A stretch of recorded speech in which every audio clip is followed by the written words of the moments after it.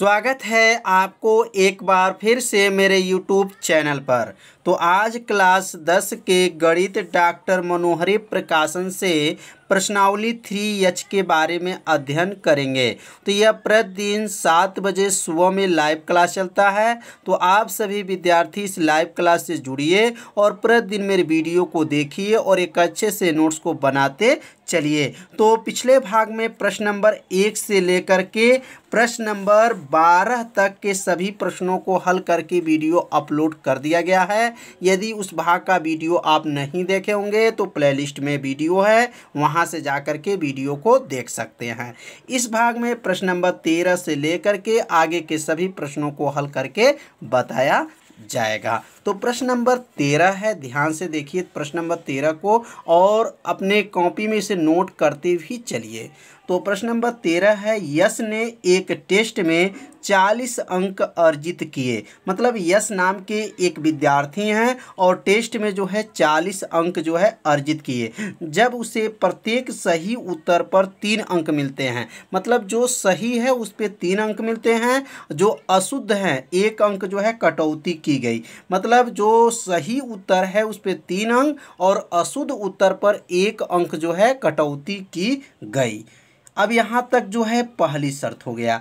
यदि उसे सही उत्तर पर चार अंक मिलते हैं, अब पहले यहाँ सही उत्तर पे तीन अंक मिलते थे, अब कितना मिल रहा है? तो चार अंक मिलते हैं तथा अशुद्ध उत्तर पे दो अंक कटते हैं तो यश कितने अंक प्राप्त करते हैं? पचास अंक अर्जित करता है। टेस्ट में कितने प्रश्न थे? अब टेस्ट में कितने प्रश्न थे? गणना करना है। तो यहाँ पे जो है, प्रश्न में दो शर्त दिया गया है। तो सबसे पहले यहाँ लिखेंगे हल। और हल लिखने के बाद लिखेंगे कि सही प्रश्नों के उत्तर देने की संख्या यक्स सही प्रश्नों सही प्रश्नों को उत्तर देने की उत्तर देने की संख्या, देने की संख्या क्या है? यक्स है, बराबर यक्ष। और अशुद्ध अशुद्ध प्रश्नों अशुद्ध प्रश्नों को को उत्तर देने की देने की संख्या वाई है। मतलब जो सही है, उसका संख्या यक्स मान लिए, जो अशुद्ध है, उसकी संख्या वाई है। तो कुल प्रश्न कितना होगा? तो कुल प्रश्न जो है दोनों प्रश्नों को जोड़ लेंगे तो कुल प्रश्न बराबर क्या हो गया? X plus y. मतलब यह सही प्रश्नों की संख्या और यह जो है अशुद्ध प्रश्नों की संख्या तो यक्स प्लस वाई हो जाएगा। अब यहाँ लिखेंगे पहली शर्त से। अब पहली शर्त में क्वेश्चन में क्या कहा गया है? तो तीन अंक मिले और अशुद्ध पर एक अंक कटौती जब हो गया तो वह कितना अंक पाया? चालीस अंक पाया। तो अब यहाँ लिख लेंगे पहली शर्त से तो पहली शर्त से तीन अंक सही, तीन अंक पर उत्तर जो क्या है, सही है। तो यहाँ तीन यक्स लिख लेंगे, क्योंकि तीन यक्स का मतलब यह हो गया कि तीन जो प्रश्न इनका क्या है, सही मतलब एक प्रश्न पर जो सही उत्तर कितना अंक मिला तीन। तो यहाँ तीन यक्स लिख लेंगे। माइनस करेंगे, कटौती का मतलब माइनस हो जाता है और एक अंक कटौती होगा तो अशुद्ध प्रश्नों में एक अंक का जो कटौती हो जाएगा तो यहाँ हो जाएगा वाई बराबर कितना प्राप्त हुआ? चालीस। एक बार और समझेंगे। अब यहाँ तीन यक्स का मतलब यह हो गया कि एक प्रश्न सही होने पर तीन अंक मिले हैं इसने तीन यक्स हो जाएगा, माइनस यहाँ हो जाएगा क्योंकि कटौती हो रहा है, और यहाँ वाई मतलब यह हो जाएगा अशुद्ध प्रश्नों की जो है संख्या जो है यहाँ पे एक अंक कटौती, यहाँ एक छिपा हुआ है। तो क्या हो जाएगा, तीन यक्स माइनस जो है वाई बराबर चालीस समीकरण नंबर इसको क्या लिख सकते हैं, एक। समीकरण नंबर एक। अब जो है दूसरी शर्त में क्या कहा गया है? तो दूसरी शर्त में बस थोड़ा सा ध्यान देंगे, आप लोग को अच्छे से समझ में आ जाएगा। दूसरी शर्त में कितने अंक मिलते हैं? तो चार अंक मिलते हैं। तो यहाँ लिखेंगे, चार अंक सही पे और दो अंक जो है अशुद्ध पे। तो दो वाई हो जाएगा, बराबर जो है पचास लिख लेंगे। एक बार और ध्यान देंगे, शुद्ध पे चार अंक और अशुद्ध पे दो अंक की क्या हो गया? कटौती हो गया है। अब दो इसमें से जो है कामा ले सकते हैं। तो दो एक्स हो जाएगा, माइनस माइनस हो जाएगा वाई हो जाएगा, बराबर जो है पचास हो गया। अब इसमें से जब दो कामन ले लेंगे तो ये चार है तो दो हो जाएगा। दो दूना चार होता है और इसमें से दो बाहर ले लेंगे तो वाई हो गया, दो को नीचे भेज देंगे। तो अब क्या बनेगा? दो यक्स माइनस वाई बराबर पचास बटा दो दो से पचास को क्या कर देंगे? काट देंगे। तो अब क्या बनेगा? दो यक्स माइनस वाई बराबर पच्चीस। अब बन गया समीकरण नंबर दो। अब समीकरण एक और समीकरण दो जब बन गया तो बस थोड़ा सा ध्यान देंगे, समझ में आ जाएगा। यहाँ पर माइनस वाई है और यहाँ पर भी माइनस वाई है। तो दोनों जो है समान चिन्ह हैं। तो यहाँ लिख देंगे समीकरण एक में से समीकरण दो को क्या करेंगे? घटाने पर समीकरण एक माइनस समीकरण दो से। समीकरण एक में से समीकरण दो को क्या कर देंगे? घटा देंगे। तो समीकरण एक क्या है? तो तीन एक्स माइनस वाई बराबर क्या है? चालीस है। दो एक्स माइनस वाई बराबर क्या है? पच्चीस है। अब इसको घटाएँगे। तो घटाएँगे तो क्या बनेगा ये माइनस, ये क्या हो जाएगा प्लस, ये क्या हो जाएगा माइनस। अब वाई से वाई जो है वाई एक प्लस है वाई क्या है? माइनस है तो वाई से वाई को काट देंगे। तीन एक्स में से जब दो एक्स को घटा देंगे तो यक्स हो जाएगा बराबर चालीस में से पच्चीस घटाएँगे तो क्या हो जाएगा? पंद्रह। पंद्रह हो गया। तो यक्स का मान जब पंद्रह आ गया तो यक्स का मान किसी भी अगर समीकरण में रख दिया जाए तो किसका मान निकल जाएगा? वाई का मान निकल जाएगा। तो यहाँ देंगे यक्स का मान यक्स का मान समीकरण एक में रखने पर, समीकरण एक में रखने पर। अब समीकरण एक में जो है यक्स का मान रख देंगे, रखने पर। तो समीकरण एक क्या है? तो समीकरण एक जो है, तीन यक्स माइनस वाई बराबर क्या है? चालीस है। अब यहाँ मान रखेंगे, तीन गुड़े यक्स का मान पंद्रह माइनस वाई बराबर चालीस। अब पंद्रह में तीन का गुड़ा करेंगे तो पंद्रह तियाँ क्या हो जाएगा? पैंतालीस माइनस वाई बराबर चालीस। पैंतालीस को पछांतर करेंगे माइनस वाई बराबर चालीस माइनस पैंतालीस। चालीस में से जब पैंतालीस घटा देंगे तो क्या आएगा? माइनस वाई बराबर माइनस पाँच। माइनस से माइनस को काट देंगे, वाई बराबर आ गया पाँच। तो वाई का मान पाँच आ गया और यक्स का मान क्या है? पंद्रह आ गया। तो अब यहाँ नीचे लिख देंगे, अतः अतः प्रश्नों की संख्या तो प्रश्नों की संख्या तो प्रश्नों की संख्या क्या हो जाएगा? दोनों का क्या कर लेंगे? जोड़ कर लेंगे, क्योंकि जोड़ माना गया था, यक्स प्लस वाई। अब यक्स का मान जो जितना निकला है और वाई का मान जो निकला है, अब यहाँ पे रख लेंगे और दोनों को जोड़ लेंगे। तो यक्स का मान क्या आया था? पंद्रह आया था, प्लस वाई का मान पाँच। पंद्रह पाँच मिलेगा तो क्या बन जाएगा? पंद्रह पाँच बीस। तो यहाँ लिख लेंगे बीस। तो प्रश्नों की संख्या टोटल क्या हो गया? बीस। मतलब पंद्रह प्रश्न जो है, शुद्ध सही है और अशुद्ध प्रश्न जो है, पाँच है। टोटल प्रश्न की संख्या टोटल क्या हो गया? बीस हो गया। तो प्रश्न नंबर तेरह आप लोग को अच्छे से समझ में आ गया होगा। अब सीखेंगे प्रश्न नंबर चौदह। तो क्वेश्चन नंबर चौदह है, एक राजमार्ग पर दो स्थान ए और बी सौ किमी की दूरी पर है। मतलब एक राजमार्ग मतलब एक जो बड़ा जो रोड बनता है, उसको क्या कहते हैं? राजमार्ग कहा जाता है। दो स्थान हैं, ए और क्या है? बी है। सौ किमी की दूरी पर है।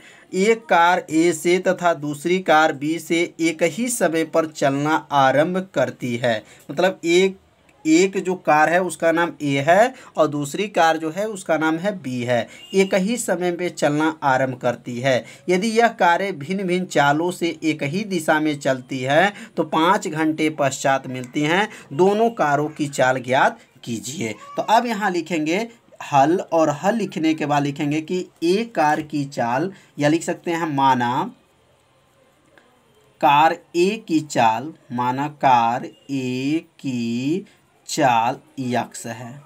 माना जो कार ए की चाल क्या है? यक्स तथा तथा कार बी की चाल, कार बी की चाल क्या है? वाई है। वाई है। तो अब यहाँ पे जब चाल जो है यक्स है और यहाँ जो चाल माने हैं क्या है? वाई है। अब एक घंटे पे पहले निकाल लेंगे। एक घंटे एक घंटे में कार एक घंटे में एक कार एक कार द्वारा द्वारा चली गई दूरी, चली गई दूरी। तो दूरी का सूत्र क्या होता है? तो दूरी का सूत्र होता है चाल गुड़े समय होता है। आप सभी विद्यार्थी जानते होंगे कि दूरी के सूत्र क्या होता है? चाल गुड़े जो है, समय होता है। तो चाल जो है, ए का एक कार की चाल क्या है? यक्स है। समय क्या है? एक घंटे है। तो एक से गुड़ा कर लेंगे। यक्स में एक का गुड़ा करेंगे तो क्या बन जाएगा? यक्ष हो जाएगा। अब यहाँ एक घंटे में एक कार की चाल निकल गया। इसी प्रकार अब यहाँ लिखेंगे एक घंटे में एक घंटे में बी कार की, बी कार द्वारा, बी कार द्वारा चली गई दूरी, चली गई दूरी। अब यहाँ जो है, अभी ऊपर देखिए ए कार द्वारा चली गई दूरी निकाले हैं अब बी कार द्वारा जो है चली गई दूरी। दूरी के सूत्र क्या होता है? तो सूत्र होता है चाल गुड़े क्या होता है? चाल गुड़े समय होता है। तो चाल जो है, यहाँ पे जो है बी कार है तो बी कार का चाल वाई है, समय एक है, वाई में एक का गुड़ा करेंगे तो वाई हो जाएगा। तो एक घंटे में कार द्वारा मतलब एक घंटे में एक कार द्वारा चली गई दूरी यक्स हो गया और एक घंटे में बी द्वारा कार जो चली गई दूरी क्या है? वाई है। तो कुल दूरी प्रश्न में कितना दिया गया था? तो कुल दूरी जो है सौ किमी दिया गया था। कितने? सौ। तो अब सौ किमी जो है तो यक्स किमी जो है पहला कार और वाई किमी जो है दूसरा कार, बराबर क्या हो जाएगा? सौ हो जाएगा। अब यह बन गया समीकरण नंबर एक। तो समय समीकरण एक आप लोग को अच्छे से समझ में आ गया होगा। अब जो है पाँच घंटे पश्चात मिलती हैं। तो अब एक घंटे के जगह पर अब क्या लिखेंगे? पाँच घंटे। कितने घंटे? पाँच घंटे में एक car A car A car द्वारा चली गई दूरी। ए कार द्वारा चली गई दूरी। अब ए कार द्वारा चली गई दूरी तो सूत्र क्या होता है? चाल गुड़े क्या होता है? समय होता है। अब एक कार का चाल कितना माना गया था? तो यक्स समय जो है पाँच घंटा, पाँच में एक्स का गुड़ा करेंगे तो पाँच यक्स तो पाँच एक कैसे बना? समझ में आ गया होगा, क्योंकि पाँच घंटे में। अब ये पाँच घंटे में जो चली गई दूरी निकला है, जो एक कार का था, अब इसी प्रकार यहाँ लिख लेंगे, पाँच घंटे में, पाँच घंटे में अब यहाँ लिखेंगे बी कार बी कार द्वारा चली गई दूरी, चली गई दूरी। तो अब यहाँ सूत्र क्या होता है? दूरी के सूत्र क्या होता है? चाल गुड़े समय। तो चाल कितना है? तो चाल जो है वाई है। समय पाँच पाँच में वाई के गुड़ा करेंगे, पाँच वाई तो पाँच वाई कैसे बना, समझ में आ गया होगा आप लोग को। अब जो है, दोनों कारों का जो है, भिन्न चालों का जो है अलग अलग लिखा गया यदि कारें भिन्न भिन्न चालों से एक ही दिशा में जब चलती हैं तो पाँच घंटे पश्चात मिलती हैं। मतलब दोनों कारों के जो चली गई दूरी का अंतर कितना है तो सौ किमी है। तो यहाँ लिख देंगे, दोनों दोनों कारों का, दोनों कारों द्वारा, दोनों कारों द्वारा तय की गई, तय की गई, तय की गई दूरियों में अंतर, दूरियों में अंतर। कितने का अंतर था? तो अंतर जो है सौ किमी के बराबर था। कितने का? सौ किमी के जो है बराबर है। तो दोनों कारों द्वारा जो चली गई दूरियों में अंतर जो है सौ किमी के अंतर के क्या है? बराबर है, प्रश्न में दिया गया है। तो अब ये दोनों कार जब पाँच घंटा में जब मिले हैं तो पहला क्या है? पाँच एक्स हो जाएगा, चली गई दूरी है, और यह क्या होगा? पाँच वाई हो जाएगा, अंतर मतलब माइनस होता है, बराबर क्या हो जाएगा? सौ हो जाएगा। इसमें पाँच कामन ले लेंगे तो क्या बनेगा? यक्स माइनस वाई बराबर क्या हो जाएगा? सौ।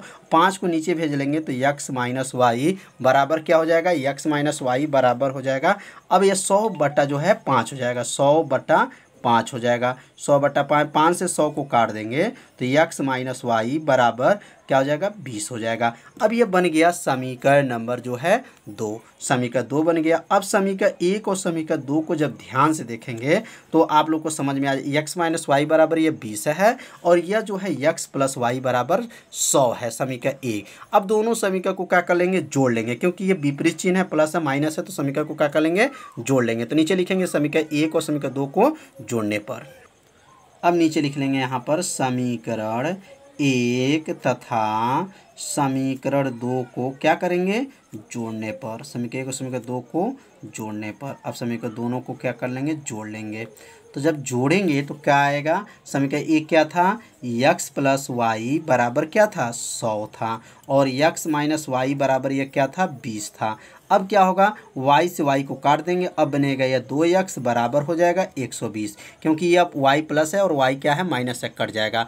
अब दो को नीचे भेज देंगे तो यक्स बराबर 120 बटा जो है, दो हो जाएगा। 120 बटा दो दो से काट देंगे तो यक्स का मान क्या आ गया? साठ आ गया।